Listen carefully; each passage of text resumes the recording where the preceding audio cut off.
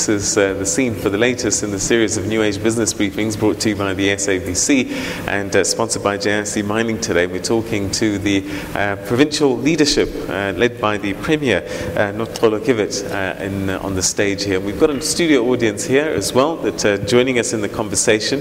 Um, Premier, you wanted to add something to the skills immigration that we're seeing and also trying to find ways to entice Eastern Capers back to the province. Um, Peter, we, we don't need to be apologetic um, about being a, a skills and leadership basket of the country. Um, we, we know that major institutions have their head offices elsewhere.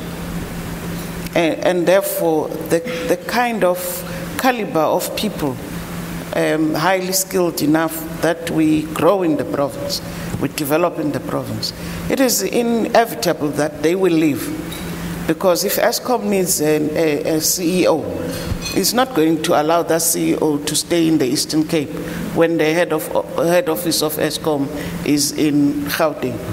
That person is going to inevitably leave the Eastern Cape for Gauteng. We know that major institutions have their offices, their head offices um, in, in, in such uh, big cities as Cape, as Cape Town and um, Johannesburg, uh, etc. And therefore, the issue of skills flight for me, um, looking at it, is not a, is, it's not a disaster. It's, it's an issue that proves a point that the Eastern Cape is the, the basket, leadership basket of the country. You come and pick from here if you want the best leadership. But don't you want that skill? yeah, that, that's, that's a good thing, and uh, the other provinces will benefit. But the reality is, you're the second largest province by land area, third most populated. So, in actual fact, this province should be one of the go to provinces, not supplying. You should be attracting. How, that's, I guess, what the question is. How do we get this province sexy enough for people to want to come and work in East London rather than Johannesburg? But that's, that's exactly the point we're driving here in terms of ensuring that we change the economic development landscape of the province so that it is able to attract uh, those skills back into the province. Uh, that is why you, we talk of uh, the ports, Yukucha transshipment. We are now attracting those skills that uh, had been to other provinces back to Ngqura, back to our province. Um, and, and therefore, the drive, the water, uh, Dam, we're going to need a lot of uh, highly skilled personnel. We, we're driving those projects precisely to ensure that um, we, we attract people back to the province, and therefore the face of the province is changed e- economically. Uh, and, I'm, I'm, and I'm still saying, for as long as the, the big companies, head offices are elsewhere in the country, you will find people going to those places for um, as greener pastures, but also we should be appreciated as a province for the role that we do in shaping leadership and skills Okay. for the country. All right. Okay. Well, let's go to our tables again. Table number four, uh, Mzuyanda. Table number four, Mzuyanda. Uh, Thank you very much, uh, Peter. Uh, I'm, I'm standing to, to add my voice in saying that indeed the Cape province is a better place than it was before 1994. Uh, I also observe, uh, Honorable Premier, with appreciation the high pace of building national and provincial roads. However, rural roads need some, some attention.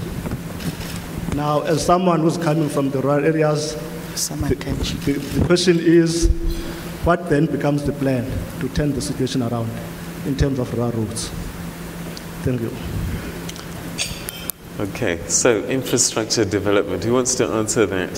Um, Uh, Thank you very Yeah. much, uh, I I think I can confirm that uh, indeed, as part of complementing the work that the province is doing when it comes to provincial roads plan, there is now a provincial roads master plan that this uh, cabinet has endorsed.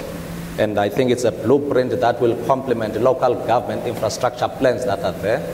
When we are delivering access roads, as we are now having 2.9 billion under the current financial year to ensure that uh, those access roads that are causing people to reach clinics and schools, as well as provincial proclaimed routes that are also connecting with the national N2 roads and so on, are going to ensure that there is efficiency, there is movement of goods and services in this province. And I think that is a plan now adopted. Going forward, we are focusing on that program. And I think uh, many people will bear testimony that uh, going to other rural areas that were unreachable before, you can access those areas with those smaller bridges causing people to go to school, uh, their scholar transport, buses able to move from point A to point B is an indicator that we are trying to integrate our transport plans from local to province as well as national. And I think that is an achievable plan as far as we are concerned as this cabinet. All right, uh, MEC Tom, let's get back to education. Um, we've talked about the improvement from where we've come from, but there's still clearly a lack of confidence in the province's education system if we track the migration of students going to places like the Western Cape. Um, have you been able to start to stem that tide where people are saying, if I want my kid educated, they've got a better chance in the Western Cape? Because the numbers are suggesting that they're moving in their numbers to other provinces. In fact, Peter, young people are not moving to the Western Cape before, because they want education. It's because their parents are there. It's because their parents are working there. This is why the kids from the Eastern Cape go, go to the Eastern Cape. But your question on how we are, as the Eastern Cape government, trying to retain the students in our province, that we are doing with three-phased intervention.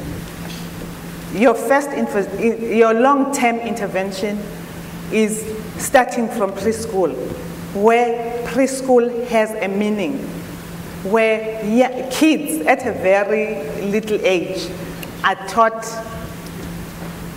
skills that are going to ensure that they continue with their education. And also, if you look at your metric, as I said earlier, the intervention there is to ensure that they pass and they get bachelor passes with the interventions that I have mentioned before. And I think that on its own enables young people to stay, but those that go to Cape Town and elsewhere, it's because their parents are What, there. what do you put as the biggest impediment that's kept you as the poorest performing province? As the Premier said earlier, the measurement should not be against other provinces. The measurement should be where we are coming from. Because the Premier said that in 1994, we are at 30 something, but now we are at 64. And I think that's a great achievement. And we need to be measured by how we progress, not against other provinces. As you know, that our province has a history of having three homelands. I will call South Africa a homeland as well, because we had Transkei, Ciskei, and also the Republic of South Africa. Mm. So integrating those three systems took mm. time because each, pro, each, each homeland had its own system. But I think we are, the, we are at the place now where we are showing signs of improvement. Mm. And from now on, the improvement is going higher and higher. Okay, um, let me see, Qoboshiyane. Let's talk a little bit about uh, local government again. Um, one big challenge uh, that's coming through other provinces as well, but yours, uh, corruption. You've just uh, had a, a forensic probe that unearthed several discrepancies in the uh, Inkwanca local municipality. And then I wake up this morning to this daily dispatch and it says leaked report with mayor since 2013, Buffalo City Metro manager Andile Fani, head of supply chain, Tembelani Sali has been fingered in a damning forensic investigation into controversial procurement of 17 million rand worth of black refuse bags.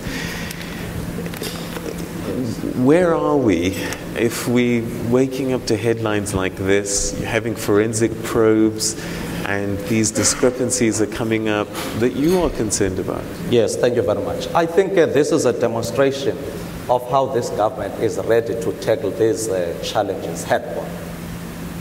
Fraud and corruption is not equal to freedom and democracy, and we want to ensure that as we deliver these services and goods, paying with public purse, we are also having a capacity to care. For instance, if I may say, on conduct crimes, even though I'm coming there, 4% decrease over the past five years. It's a reality that this province has managed to achieve.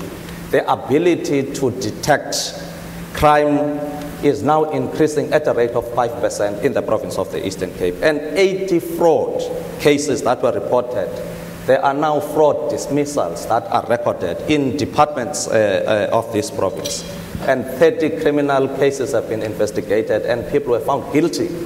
And this is the capacity of the state. It's not a private issue. We are also conducting forensic investigation as government, tabling those reports to municipalities.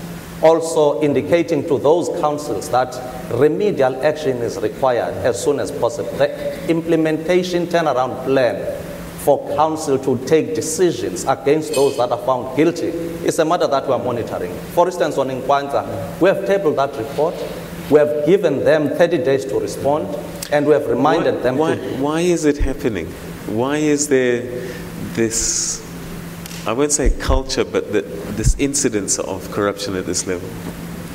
Well, the question why is the question that they must have ability to detect as the system because people are running budgets, people are taking decisions, and at times uh, they are exposed to this reality of life that uh, here are tenders in front of me, we can decide about them.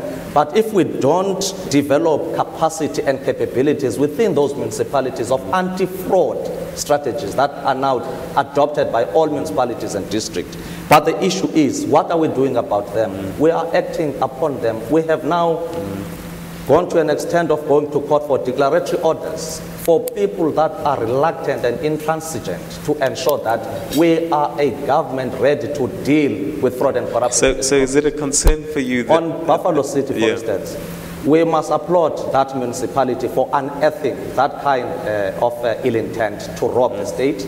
It is Buffalo City that have managed through their own internal um, anti-corruption plans that have managed to see that there are people in the system that are ready to disorientate the plans of delivery. And as such, they want to self-enrich themselves at the expense of the state. And uh, that is an indication that our municipalities are taking the heat head on. And I think... But the mayor sat on this report for three years, it seems. but The, the way it's reported here is that, uh, uh, that this mayor, the mayor sat with this report for some time.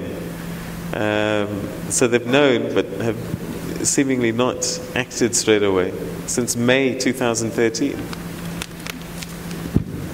Well, as far as I know, uh, all reports of that nature that are supposed to be deliberated by council and council taking decisions and also how to act on those things are not matters that you can just handle them willy-nilly because there are people involved, there are companies involved, all those people must be given space to respond. And I think acting on those things permanently will also give us clean administration that will deliver clean audit at the end of the day. But we are going to monitor also that reported incident. All right. Uh, MEC Masualle, you're the provincial chairperson.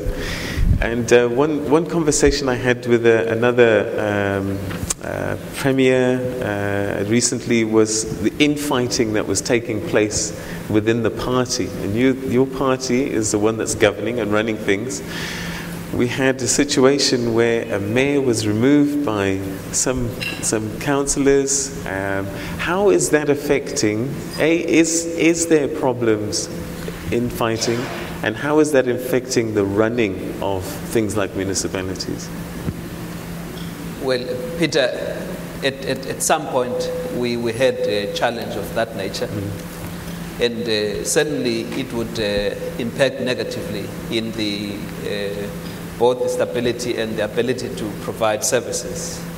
Uh, must be about two years ago that we uh, dealt with that. Uh, we no longer have incidents like those uh, in our councils. Councils are stable. Uh, relatively, uh, people are focused on what must be done. And uh, it is largely to the effort, the leadership guidance that have been given by all the structures of the ruling party across. Yes, I can say relatively that is no longer an, an, an occurrence we can talk about in the province to date. All right, so there's if, harmony. I said there's harmony, general harmony at the moment. In councils, yes, absolutely. Okay. All right, table number 14. Is it Ponko Kam Siba? Masiba? Uh, table number 14. Um, good morning, Premier, and your, and your crew. Um, mine is more of an input and an advice than a question. Um, the government, from, the, from Parliament down to the provinces, doesn't seem to be taking the role of the community media seriously. And unfortunately, um, the statistics tells us, and the researchers tells us that all these protestations that are mushrooming left, right, and center in our country um, are due to communication or lack thereof. Now, I just want to find out, Madam Premier and your crew and the district mayors that are around here, do you have a plan to maximize the usage of those community media? Thank you. Okay. Who wants to answer? I, I, can, I can safely say yes, there is. Actually, af- as we have a program as the province of um, visiting all our districts and municipalities, uh, during EXCO outreach uh, programs, we spend time in those community radio stations, two hours at the most, uh, interacting with communities directly uh, and interacting with, with uh, communities via uh, telephone calls and the like. And at that time, we normally have with us the, the leadership in that district uh, in terms of the municipalities. Uh, and therefore, for us, we could say that uh, safely. We're not as bad uh, uh, uh, in terms of that, in terms of protests, precisely because we, we, we, we have that program, a communication program, we have a plan that guides us as we go out to communities. Uh, we're starting tomorrow, actually, at Mount Fletcher. So we, we, we're there, we communicate with people. Okay. Uh, table number one, uh, Nontedo Zonke. Table number one. Not tomorrow, the next day. again. Is it Wednesday? Uh, Good morning, Premier and the crew. Peter, my question would be, knowing for a fact that the ANC government has not built mud schools, which we understand that the mud schools were undermining the black child, in appreciating uh, the, the progress in making sure that you improve the past imbalances, coming from a rural uh, region in this province, which is Chris Hani, appreciating the modern schools that you have built in rural areas. Uh, I would like just to know from you, Premier, whether how is the attitude of communities, uh, and also we are interested to know in your plan how do you how how do you think maybe you'll be able to finish uh, making sure that we eradicate the mud schools that we have inherited? Thank you. Uh, thank, you- thank you very much uh, for that question because it actually gives us space to explain to the people of this province that actually we, since we came into office 1994, the amount of schools built are more than 1,500 since then. Um, because people tend to think that all the schools in the Eastern Cape are mud schools. No, we have, we have built uh, state of the art schools uh, since 1994. And this last term, we have ensured that we don't only build classrooms. A school is complete with its library, with its IT facilities, with its um, science labs, with its um, kitchen for, for children, um, and all those, the school hall, everything. Uh, and therefore, those are state of the art schools, more than 300 of them this very last term. Um, we, we are only left with about, this is a wild guess, 300, I could say. 160, as we, we are seated here, is being constructed. We have embarked on a program to hand over these schools to communities. Um, a program called a school a week. Every week, there's a school delivered to a community. A fully fledged, up to date, modern facility. We are doing that to ensure that we, these schools are not damaged. We, we, we implore communities to take charge um, of these schools as a community property, uh, which they must guard jealously. Uh, all our schools that are built are electrified, and therefore uh, there's no qualms. These are some of the reasons why we are able to improve our results. Yes, we still have the challenge uh, in terms of the numbers. We haven't dealt with all of them. And, and again, owing to budgetary and economic uh, uh, reasons. But I can safely say that by 2016, in fact, at, at the end of 2015, we shouldn't be talking a mud structure in, in this province, but in South Africa as a whole. Okay. All right, let's. Uh, there's a tweet question that's come through from uh, Silangwe who says, uh, What is the provincial government's future plan for Magwa Tea Estate in Lusikisiki? You want to take that? Yeah. Well, um, the, we should first explain what the position is now. The idea is that, remember that there was a land restitution process. Through that process, the ownership of the, of the estate went to those, the claimants, and through a trust. So the land and assets are owned by a trust as we speak. There were, there were a number of programs by government and, uh, to create an operational company, which is owned by workers together with the provincial government. And I'm saying that that process has gone up to a point where that company started operating. Um, over the last uh, couple of, of, months, we've been working, uh, the Department of Agriculture, um, um, Rural Development, etc., has been trying to focus on a turnaround plan for Magwa. You would actually understand, as we speak, uh, Magwa depends on government grant to survive. And, and that is useful because I think it sustains the number of jobs that are there. But I think our plan moving forward is to turn around the Magwa and make it more viable, increase its capacity, and ensure that uh, we find markets for the tea that it produces. Mm. Because markets are a problem for tea as we speak. So All there right. are plans to do that. Okay, I think this might be you as well. Johan Rousseau says, uh, What is the Eastern Cape doing about the state of government and private owned morgues? It's a health threat, not regulated or policed. Is that true? What is that? The uh, uh, state of government and private owned morgues.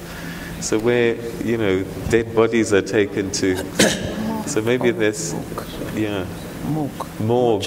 Morgue. Mortuaries, yes. They're saying that uh, it's a health threat, they're not properly regulated or policed. Uh, from where we're sitting, I think um, um, all mortuaries uh, are regulated. There are regulation. I think you can't operate it unless the, you, you, you, you, you, you follow the rules and regulations mm. required. uh, there have been cases, um, a number of cases where government had to intervene uh, in private uh, mortuaries in particular parts of the province to actually enforce the law in terms of compliance. But generally, I think in terms of the provincial health department and its program, there has been a marked improvement in the quality of state-owned mortuaries in the Eastern Cape as part of the overall investment program um, in, the, in improving health infrastructure generally. Okay. Um, MEC Masualle, uh, Luvuyo Nukani says, uh, what are we doing about uh, Inkwanca municipality? There are violent protests in that municipality. Is that true? The, with respect to Inkwanca, uh, the, the, MEC next to me has just said uh, that they commissioned an investigation.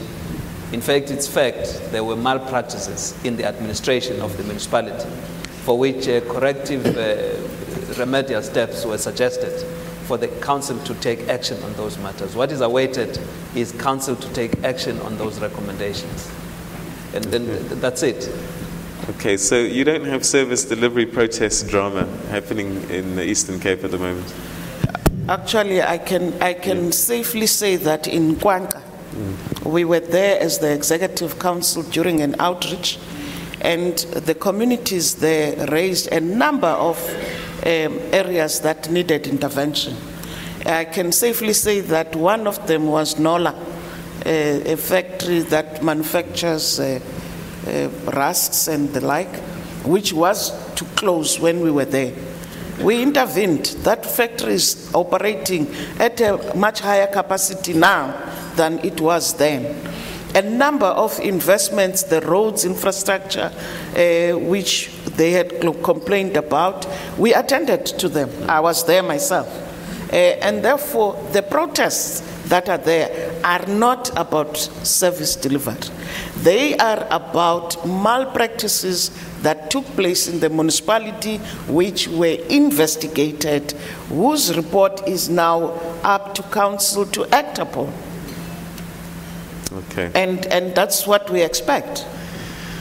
Okay. Um, MEC Jonas, you've gambled quite a bit in terms of uh, some big projects. Coega, uh, Wild Coast um, uh, Initiative. And I'm just wondering have they started to reap benefits? Um, we talked about jobs that were saved, but how many jobs have been created, actual hardcore jobs that you can say, okay, this thing is happening, um, we've put so much money into, in, in, in, into investment, and these are now uh, starting to pay dividends?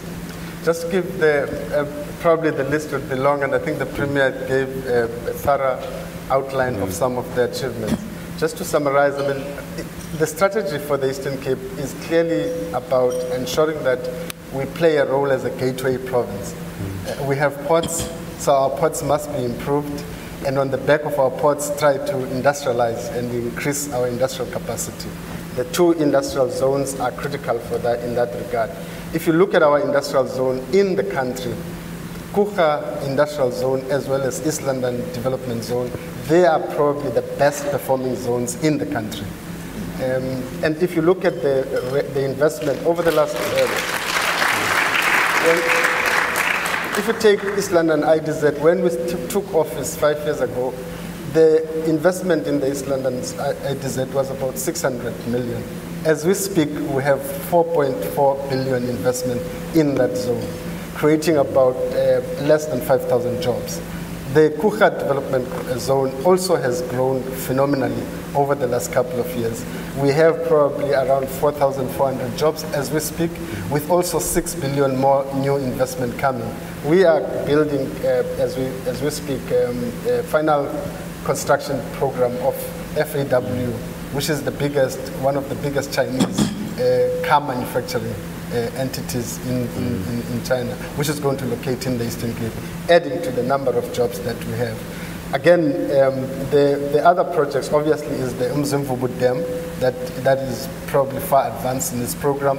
And again, with Umzimvubu, we're not just talking about dam for just circulating water to, to residents. It's also about stimulating agriculture in the area. And therefore, on the back of commercialization, strengthening of smallholder farming, you would actually create a massive number of jobs in the, in the, in the province. All right. I seem to be on you quite a bit today, but I think that's the nature of your job.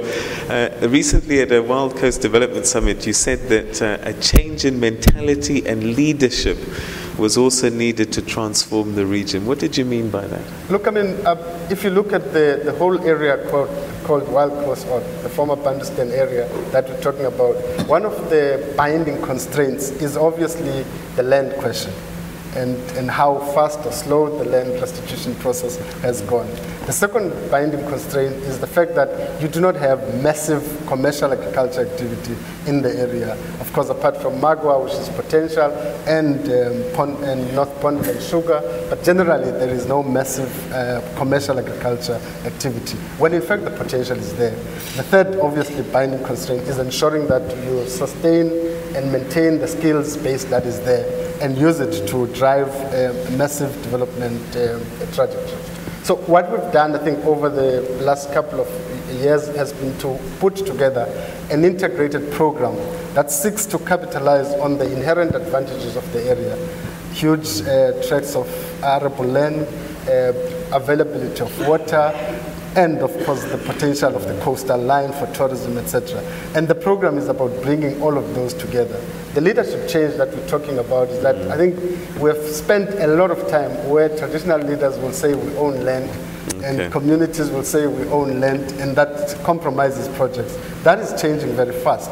We actually have new partnership between traditional leaders, provincial government and mm. communities in around concrete development projects. Okay. I mean, we've got one macadamia nuts program, which we're launching, and it's exporting macadamia okay. nuts. So that's what we're talking about when we talk. All right. I'm going to come to you, MEC Qoboshiyane, about uh, some traditional issues just now, but let's go to table three, uh, Zukiswa Ranto.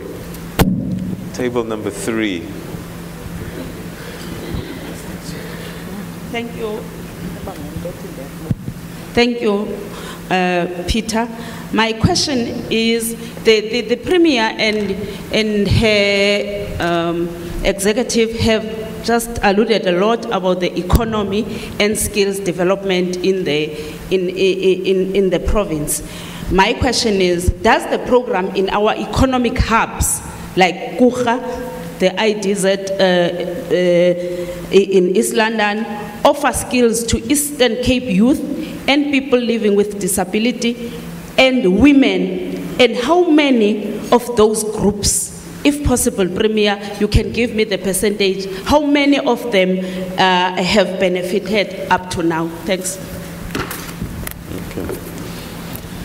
Um, I, I, may not have the direct uh, figures now, but I can assure you one thing.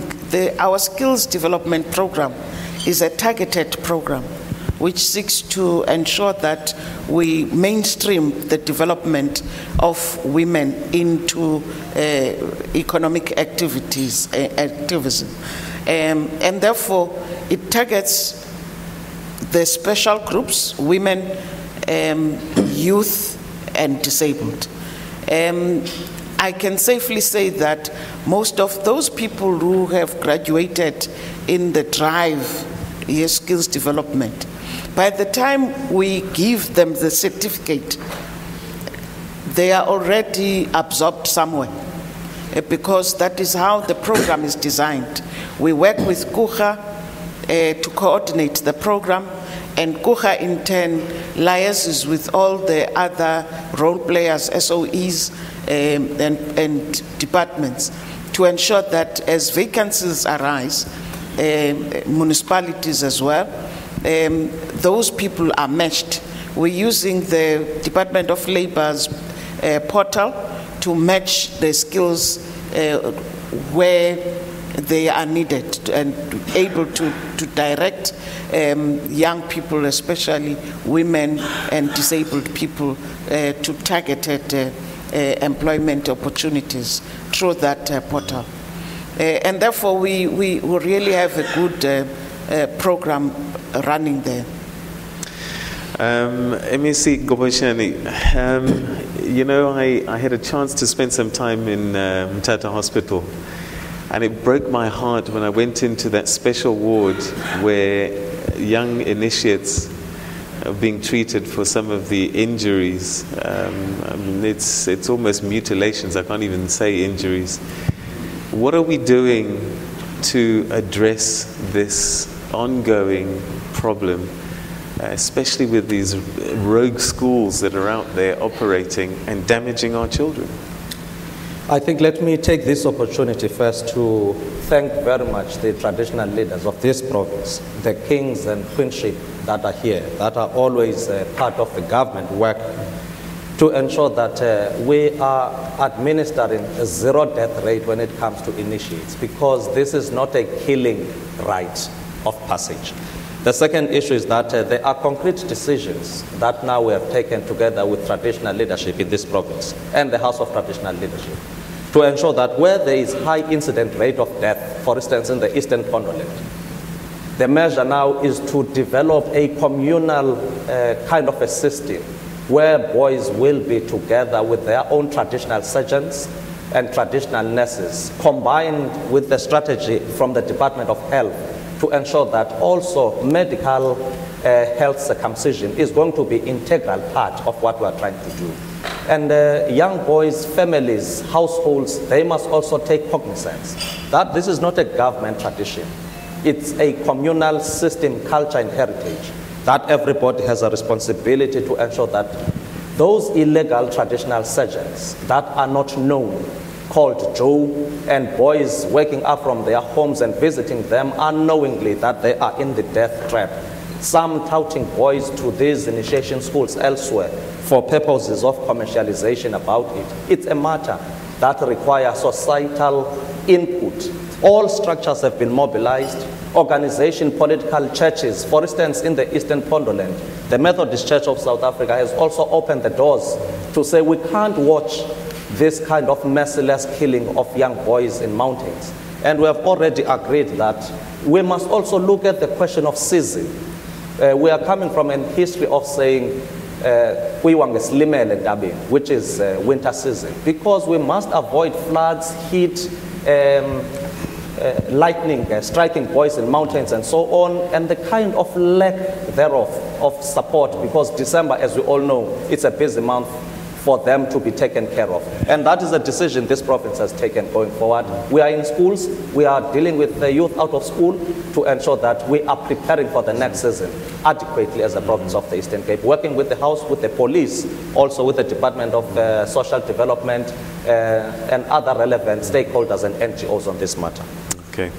Uh, Premier, the, are reports that um, you spent a fortune on the State of the Province address. that uh, was something in the order of, what, three million rand or something, which is just shy of what the, the national provincial address was. Uh, can a province that's not got money spend that kind of money on just an address? Um, this, this question, Peter, has been responded to by the legislature. Um, because again, people tend to forget the constitution of this country when it suits them. I, I do not organize the state of the province address. All I do is to prepare what I'm going to say to the people. The legislature takes care of that uh, function of facilitating and ensuring that there are people housed uh, for me to address them. Uh, and therefore, the, the legislature, in its wisdom, was saying this is the end of term uh, time to account. And it looked at ensuring that all people of the province are represented. The people that were to be housed there were, were almost more than a thousand uh, in ensuring that uh, the address reaches each and every corner of the province.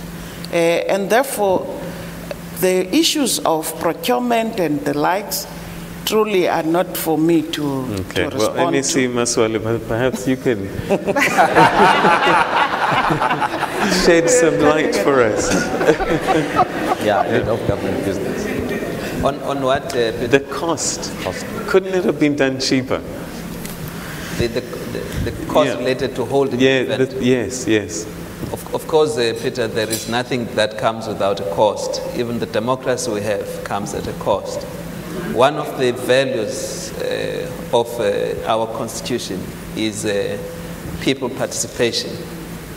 And uh, in the wisdom of the legislature, as the Premier says, they deemed the occasion uh, significant enough that the people of the province need to converge to be part of that occasion. Uh, perhaps the breakdown of how it got to that, it might then be a function of those who are in the administration to deal with that. For how much did you pay for a tent? For how much did you pay for this and that other item? But certainly, the importance that the people of the province should converge on that day, it's not uh, somewhat seen as uh, wasteful in any event.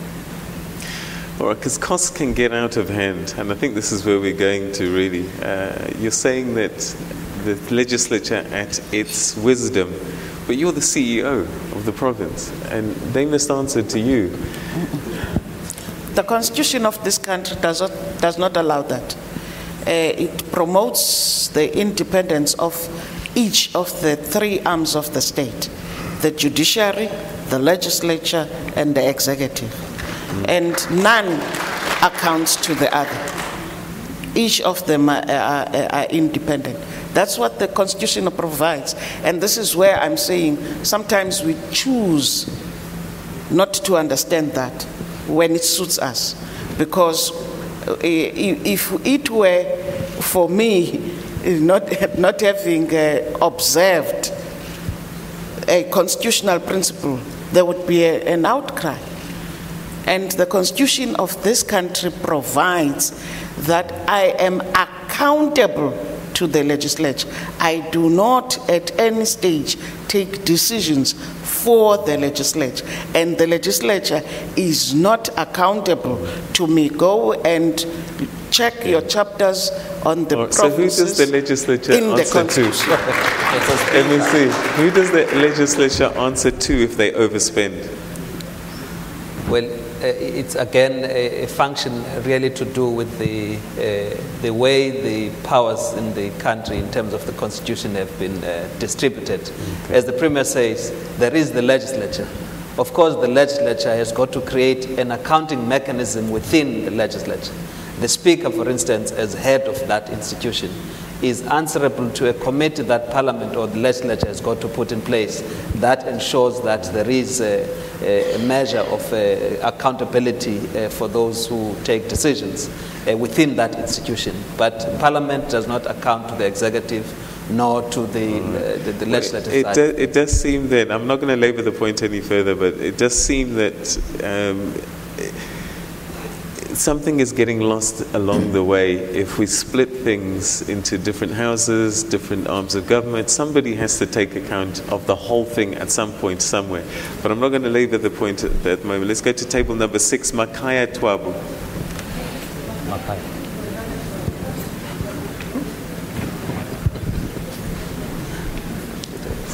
Uh, thank you, Peter and the listeners. Uh, Honorable Premier, I heard you touch the issue of electricity. I know you know our condition in Alfred Nzo as a region, but also your knowledge to that, uh, I, I'm sure it's not very far away from the performance of our schools in that region where you don't have electricity in a number of its uh, residents, it also implies that schools in that region uh, are operating in a, in a manner where they can't access the current technology. Now, we, we, we, we want to find if the program that has been initiated that assists electrification of schools, even when communities are not having eh, eh, electricity, is actually speeded up. What's, what's your program on that? Okay. But, but secondly, the, the issue of the backlog in electricity as, as, as, a, as, a, as a matter in that region is, is causing serious pressure on us, especially young people. Technology today demands that they must be in areas where there are electricity. Okay. I, I have heard you saying there's, there, there are nearby deadlines. We, we really want an assurance. We are really seriously strained by, All that, right. by that in the area. Okay, so I'm going to ask for a quick response because uh, time's not on our side, but urgency. How do we electrify uh, Alfred Nzo uh, municipality? Um, all the schools, if, if not all, there would be only a few that are not electrified by now, using alternative uh, electricity measures such as your solar systems um, and your wind power uh, in, in schools. Because we prioritize schools and clinics um, in that respect. But as we know, um, that we took a decision to work with Eskom in ensuring that that part of the, the province, which actually did not have the basic of infrastructure for us to roll out uh, electricity. They started with um, um, what was it on as um, power stations, mini mini power stations, so as to be able to roll out electricity. Because you don't just go and and and uh, uh, electrify a house without uh, the supply where electricity must come from, and, and therefore. Eskom in the last year and this year has been busy with those uh, uh, substations. This is the word I was looking for. And now the substations are almost done. They are rolling out. Um, Mr. Teismola is here, the Eskom uh, provincial manager. Uh, he has sh- shared with the, us in the province the plan to, to ensure that at least come 2016, because there you take serious, serious backlogs. 2016, and uh, we shall be talking less of um, All right, so, so that give, pressure. give us a date now. When can No, everybody in Alfred Nzo switch on electricity, put a plug in their computer, and do their homework? Actually, actually, uh, the mayor understands and knows the program. Uh, he does sit in the. He does sit in the in the MINMAC, where we invite SOEs like Eskom to table their program for the whole province. But give us a date. People are, are going to be making a decision about which party No. to vote, and they want to know. Electricity is being rolled out there now as we speak. I'm saying the schools are almost all electrified through alternative means. The Eskom program is being rolled out as we speak. I'm in, indicating that the substations which were not there in the past are, are now there, and therefore the rollout is faster now than it was uh, in the years before. Okay, uh, MEC uh, Tom, I don't know if you can answer this question. Tabo, uh, uh, let's say so, says, I've just seen a kid falling on a busy road en route to school. Uh, where are the patrollers to help kids cross roads safely? Where about is that, Peter? Uh, he doesn't say, but you know, he's obviously quite concerned that a child is trying to cross a road on his own and he fell. I don't think it's here, Peter. It's not But, but there are patrollers. We, we do have patrollers. Are they patrollers. everywhere, in other words? Wherever it's dangerous for, pe- for children to cross, we do have patrollers. Mm. Maybe if that person could be specific and tell us All where this is. Okay. So that maybe if it has happened, we would go there and try to see what we can do. All right, Tabo, if you could tell us where that uh, took place, uh, we'll get an answer for you hopefully before uh, the end of the program.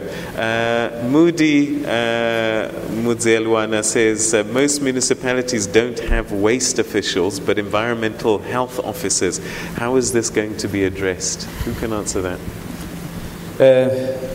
Most definitely sure. We are also monitoring the appointments of Section 56 managers in various municipalities and the directorate responsible for that, which is always termed uh, community services. Uh, it's where we want to ensure that uh, technical expertise are provided because if uh, waste managers are not there, the refuse removal, also the dumping sites, as well as the legislation that is there, that is supposed to be keeping compliant with the norms and standards of environmental management, surely will be found wanting if we are not heeding to that. I think it's a question now of finalizing. We know now how much and how many posts that are still vacant in that particular area in various municipalities and municipalities are contracting and employing uh, relevant officials. And I think uh, if there is a specific area where that individual is reporting from, it's a matter that we can follow up as soon as possible. Okay. Uh, table number two, I think it is. Uh, Nancy Silwazi. Uh, Slit- sorry? Ah, okay. There we go. Table number two. Silwazi. Is that correct? Am I reading this properly? Well said. Yeah. Well said, Peter. we Thank you. okay. So why? Um, Madam Premier, thank you. Good morning, Peter, Yes. and your executive. The, the Eastern Cape, you have showed a huge dedication and commitment to improve the quality of life of our people. As a mother of 6.2 million people, what makes you not to sleep well? What is that you believe it has not happened well? Thank you, madam. Okay. Parents, parents abdicating their responsibility to be parents. That haunts me. Most areas where we are, we are challenged as a province is where parents do not play their responsibility well. You talk ulwaluko, you talk street kids, you talk um, teenage pregnancy, you talk um, a, a lot of this uh, gender-based violence. A lot of these are attributed, I can attribute to parents not doing their job uh, effectively as parents. The, the number of people on social grants here can only reduce when parents ensure that they play their role effectively. Because government is providing opportunities. Government is providing opportunities. Whether you talk education, just now, Mamuslwai, in the State of the Province address, I had said I would add on the 20 million rand that we normally issue out as bursaries for learners in the province. I said in the State of the Province address, I took the decision to add 10 million. That was last week. But when, when I was still confronted by the, the inadequacy of that amount, I further forced the DG to go back to the budget of the OTP to say, scrap to the last cent, we are on the last month of the financial year now. And he has been able to find another 10 million. That is intended to ensure that our children access education. But there's one thing we cannot do. If a parent sends a child to a tertiary institution who is not well groomed enough to be independent and behave in a manner at tertiary institution uzofumana dropouts ezininzi. Whereas government has provided the The facilities. opportunities. and i'm saying parents par- must do the parenting work effectively. Okay, and I think that that's a great place to uh, end this conversation. Ladies and gentlemen, it's a great pleasure to say thank you to the Premier of the Eastern Cape, Ms. Noxolo Kiviet, uh, MEC um, Jonas, MEC Xoliswa Tom, uh, MEC Mlibo Qoboshiyane, and uh, MEC Phumulo Masualle. Thank you very much indeed for joining us and uh, sharing your thoughts with us. And we wish you the best of luck uh, with your endeavors and the future of the province.